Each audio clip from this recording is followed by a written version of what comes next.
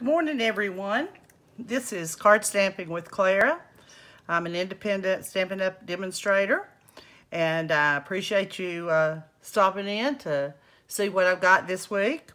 A um, couple of little things I want to take care of. Uh, first of all, if you would, push that subscribe button. That would really help. And um, secondly, I have a host code that's still good for a few more days, and then I will change it for June. So if you spend less than um, $150, please use that um, host code, and that's before shipping and handling. But if you spend up to $150, don't use it so you can take the benefit of getting some free merchandise from Stampin' Up! Uh, I want to take a second to show you the brand new catalog that's coming out. Uh, it's got all kinds of nice things. It's called Creativity is Calling. And uh, the products in this catalog are going to be um, available on June 4th uh, to the public. You've already seen that demonstrators get a little bit of a jump on you folks so we can start to put things together. Uh, so you can see, but you know, last week we did this Magnolia uh, set and it, it really uh, is a nice set. And um, let's see what's on the back. It's just got some um, different things as far as the people that run uh, Stampin' Up and what have you. But anyway, there's lots of good stuff in this catalog. And if you'd like to have one, um, just contact me, leave me a comment or uh, what have you, and request one, and I'll get one out to you. Um, the other thing I wanted to mention before we get started, because I'm, I'm not sure that everybody's getting the information, is the uh, Paper Pumpkin giveaway is going to be June 1st. And there's a few more days that you have an opportunity to leave a comment. And the way that you leave a comment to get a chance to win is go to my website, which is Card Stamping with Clara. Click on Clara's blog, and then down at the bottom of the last blog, you can leave a comment. So, or you can leave a comment on any blog for that matter. But just uh, tell me what you like, what you don't like, what have you, and I will put your name in a drawing. Um, the reason I'm concerned that people are not getting the message and I want to give it to you the first thing this morning is because I have not had a single person leave a comment. So I promise you that your odds of winning are very, very good. So um, leave me a comment and uh, maybe you'll win this thing. Uh, otherwise, if if nobody leaves a comment and I've checked and checked, uh, I guess this will just be the end of it because we're not going to go on any farther. Okay. Now, all that said, we're going to get on with uh, the card making for this week. And this is the card that we're going to be making today. I'm making a sympathy card. It's uh, called Heartfelt Sympathy here on the outside. And then it says, um, Know that love, prayers, and caring surround you today. Then I put a little leaf, a little flower in the middle, and you can see what it looks like. So this is the card we're going to be making. And I'll set it right here. And then I'm going to show you some more options for this particular set. And this is the set. I've used more than one thing this week. And, um, whoops, I dropped one. I'm sorry. This is the basic stamp set that I've used. It's called Free as a Bird. And um, it says, we're the best of friends. Hello, the world needs more of you. Thanks for being you. Thank you. Your friendship means the world to me.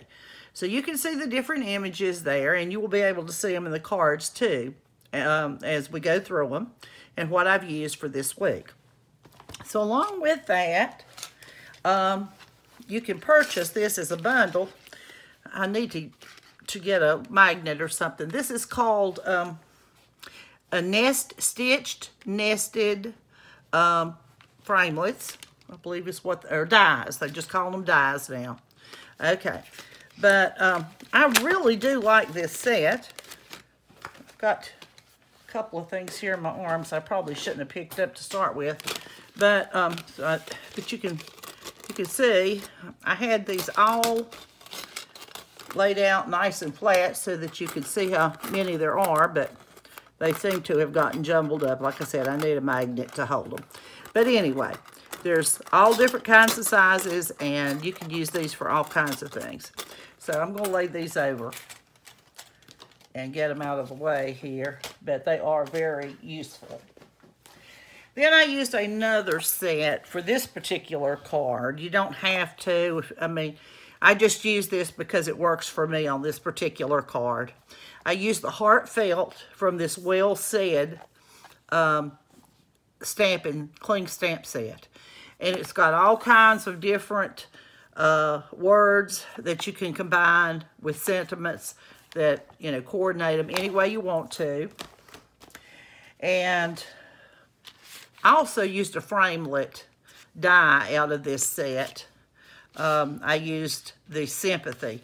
But there's lots of different words in this one too. There's um, anniversary, I believe. Birth. I know there's happy birthday, friend, miss you, you know, all kinds of things.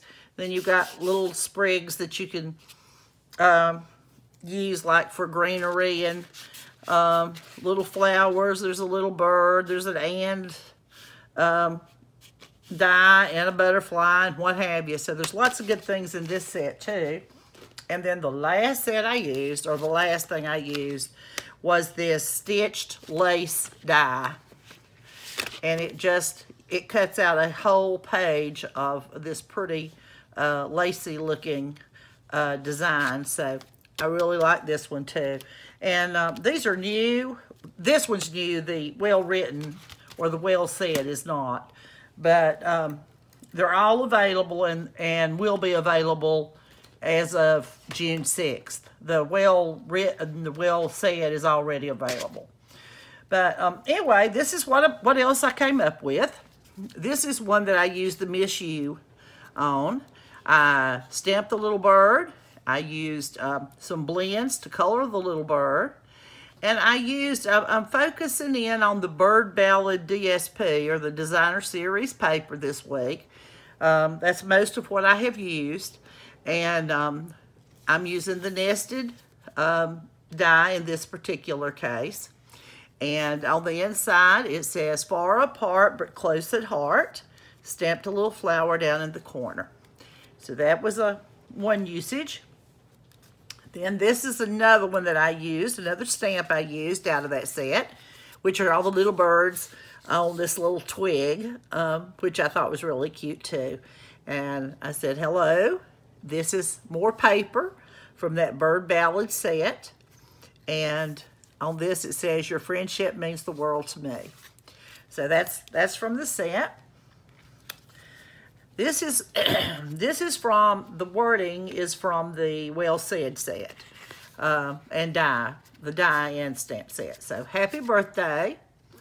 And in this one I used uh, the nested uh, die again.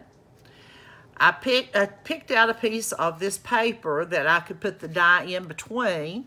I mean the label in between. Excuse me, and put a little bird at the top and a little bird at the bottom.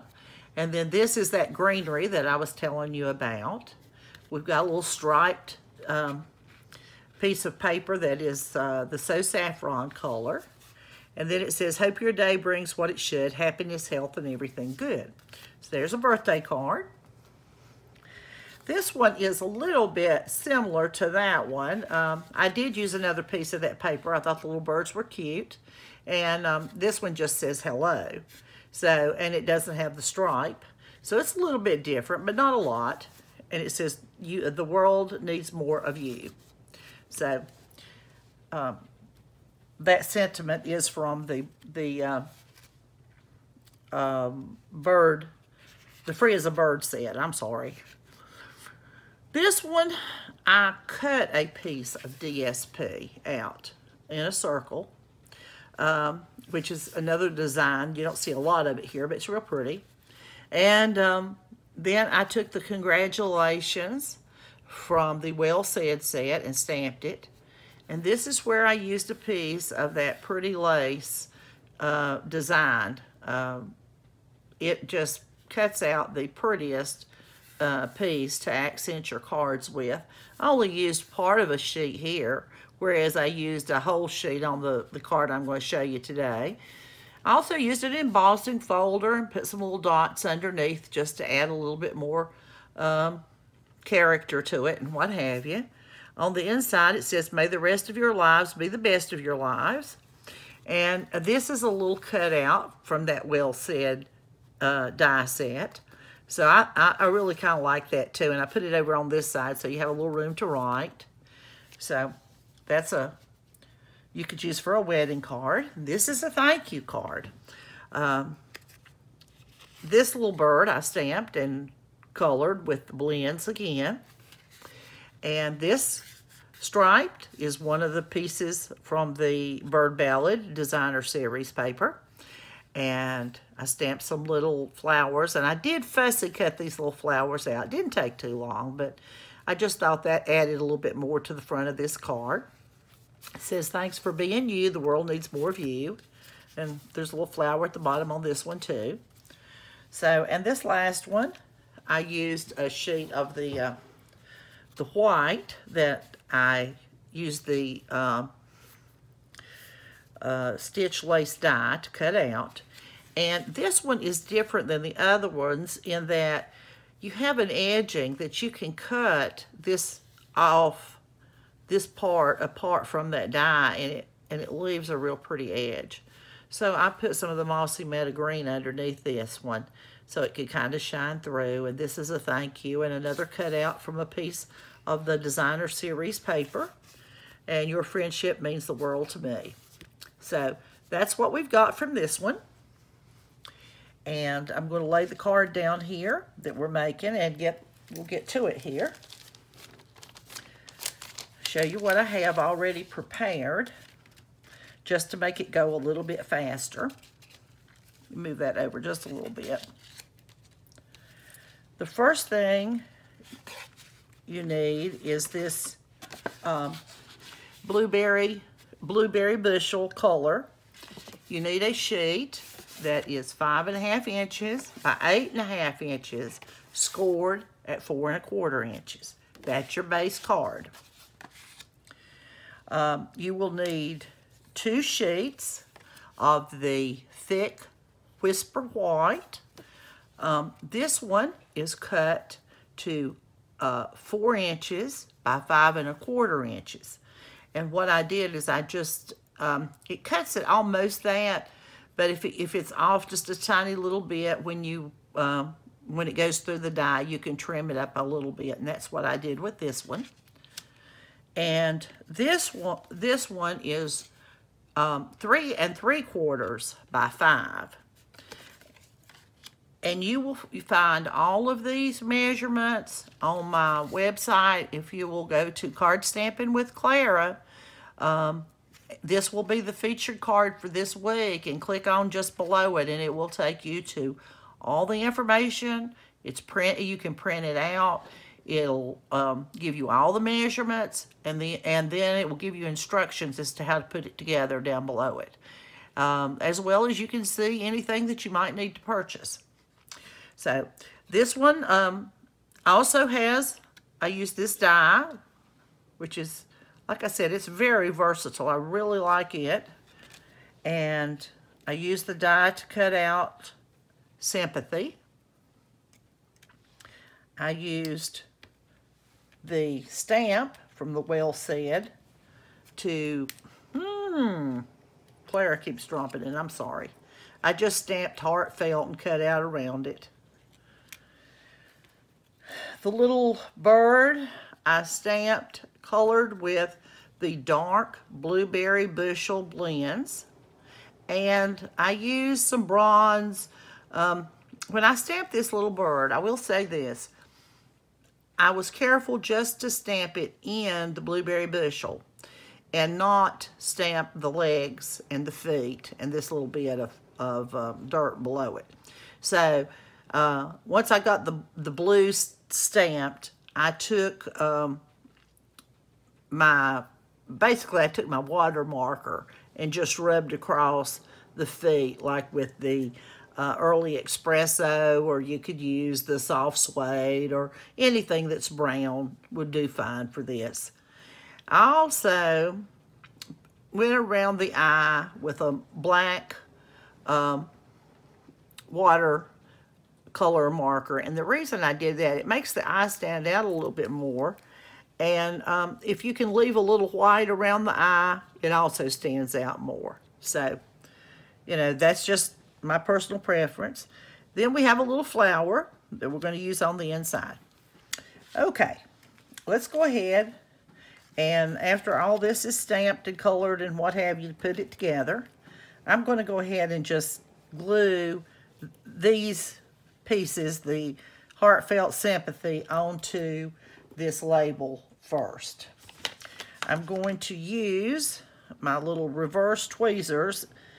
Anytime you have a cutout like this, a little die that's words, if you you can either use like the Sizzix adhesive sheets on the back, which I did on one of them, and I didn't on this one, but um, you can you can put glue or, or use that adhesive sheet either way.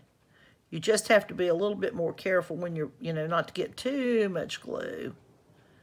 And just put a little dot here and a little dot there and it'll stay.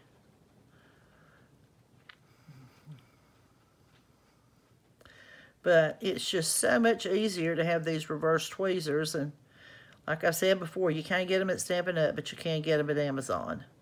So I, am going to say it's okay to tell you where to get this since there's no competition with um, Stampin' Up. So what I'm going to do is I'm going to line it up the very best I can and then drop it down on this. And I'm going to use the corners of the uh, label to kind of line up the top of those letters. This is a little tricky, but you you just have to just barely move it and it, it'll move okay. But um, you just do your best to get it straight as your straight as you can.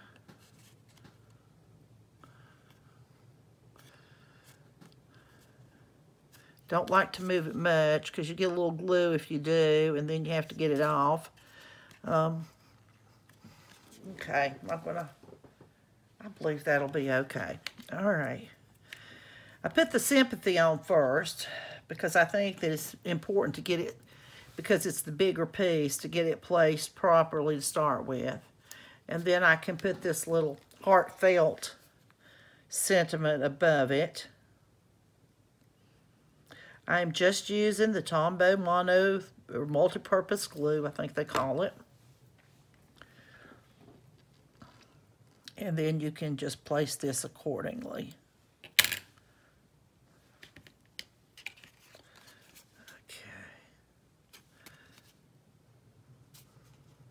Oh, it's moving. The wrong end is moving there. Okay, I believe it's straight. All right, now that's ready. Well, almost. Let's put the, let's go ahead and put the dimensionals on the back of it while we've got it out and working on it. The dimensionals lift, just gives it a little lift.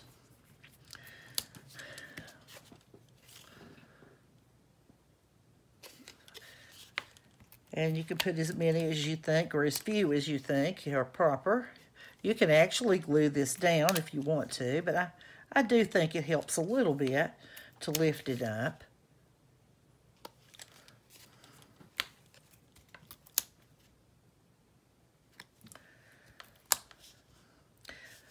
It does take a few to get to make sure that you um, have enough to where it won't sag in the middle. You don't want that.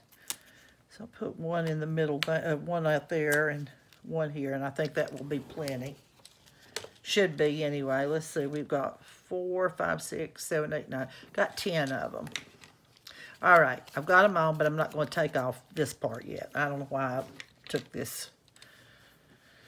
Old age, I guess. Blame it on the old age. oh, mercy. All right, now we'll lay this aside, like I started to say a minute ago, and this is the little bird that's going to go with it here in a second. All right, let's work on the base a minute. You can actually work on the base first if you want to. Doesn't really matter. Uh, just make sure that when you put this on, it's really interesting. I noticed that when, when I use this lace die, this surface is actually kind of slick, little, a little bit shinier. I don't know, it compresses the paper or something. I'm not really sure what it does. But use that slick side and not the bumpy side. You'll be able to tell the difference of what I'm talking. It's not hard to tell. Okay. And I'm going to do the same thing with this. I'm just going to put a little bit of glue on it here and there. Just kind of bumping it along, you know, just squeezing out a T-tad here and there. It, um, you don't want it gushing through on the other side. So, I do try to make note that I get enough right around the edges over on the corners because you don't want those corners curling up. But other than that, you can kind of bump along and do pretty good. Okay, let's put this on.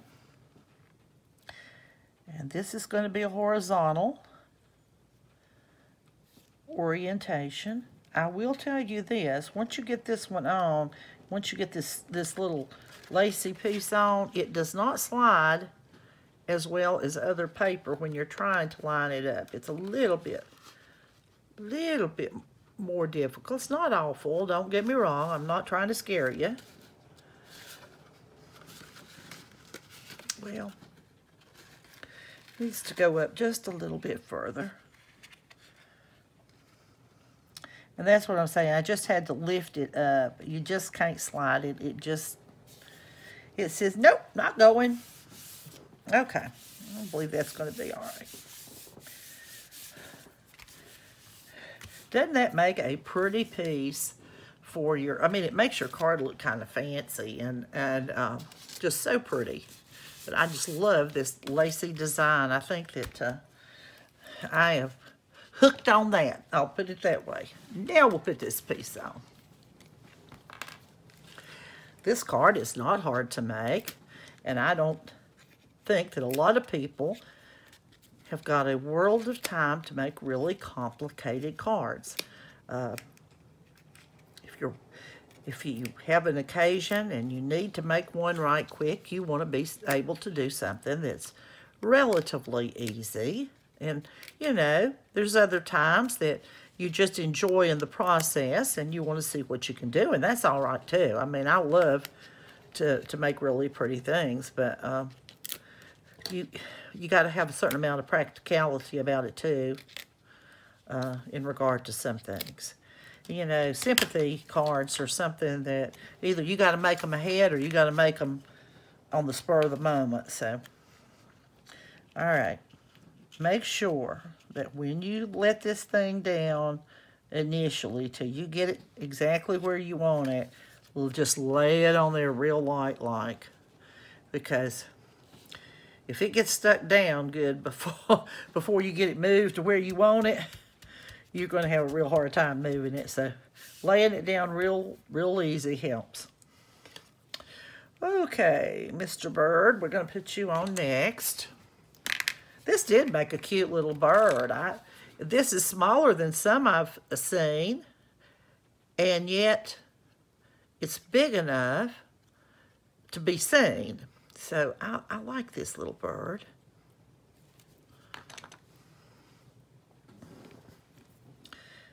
So I'm going to put it right under the edge there, just a little bit. Just kind of make sure that he's not cockeyed or she, whatever you want to, whatever you want to say. There you go. That's the front of it. Uh, that's, I mean, it, it, really doesn't take long to do that bird either. It, it's not bad at all. Now we're going to put this piece in. And to be perfectly honest, I want to tell you what I did. I decided, I realized that I had my sentiment over too far on one side. So what you, what will be very helpful is if you can learn how to correct things that don't go exactly like you made for them to, to start with. So I came back, I got the Trio Punch, which I forgot to mention to you. Let me reach over here and get it. I'm not near as organized as I had thought I was. This Trio Punch punches out this little design. It punches out a teeny tiny little hole, and then it will round your corners. And it's another one of those things that are very versatile and can add a special touch to your card. So I decided that I was going to balance this card by putting a couple of these little, these little, um, well, they look like half flowers to me. But just to, just, it's amazing how much it just balanced the card just that little bit. And I think it looks fine. I've seen a lot of people use just, you know, one or two. You don't have to punch them in every corner. You can punch them in every corner, and sometimes I do, but not every time. So, I think it was probably a good thing that I didn't get it exactly where I wanted it to start with because it added a special touch to it. Okay, let's see if I can get this, make sure that it's looking like it's supposed to. All right. Press that down. And I cut this little flower out. And I'm going to use one-dimensional. Um, I think what I'm going to do is use a part of a dimensional here. Probably don't need a great, great big one. Did you see that little thing flip over there? There, maybe. All right.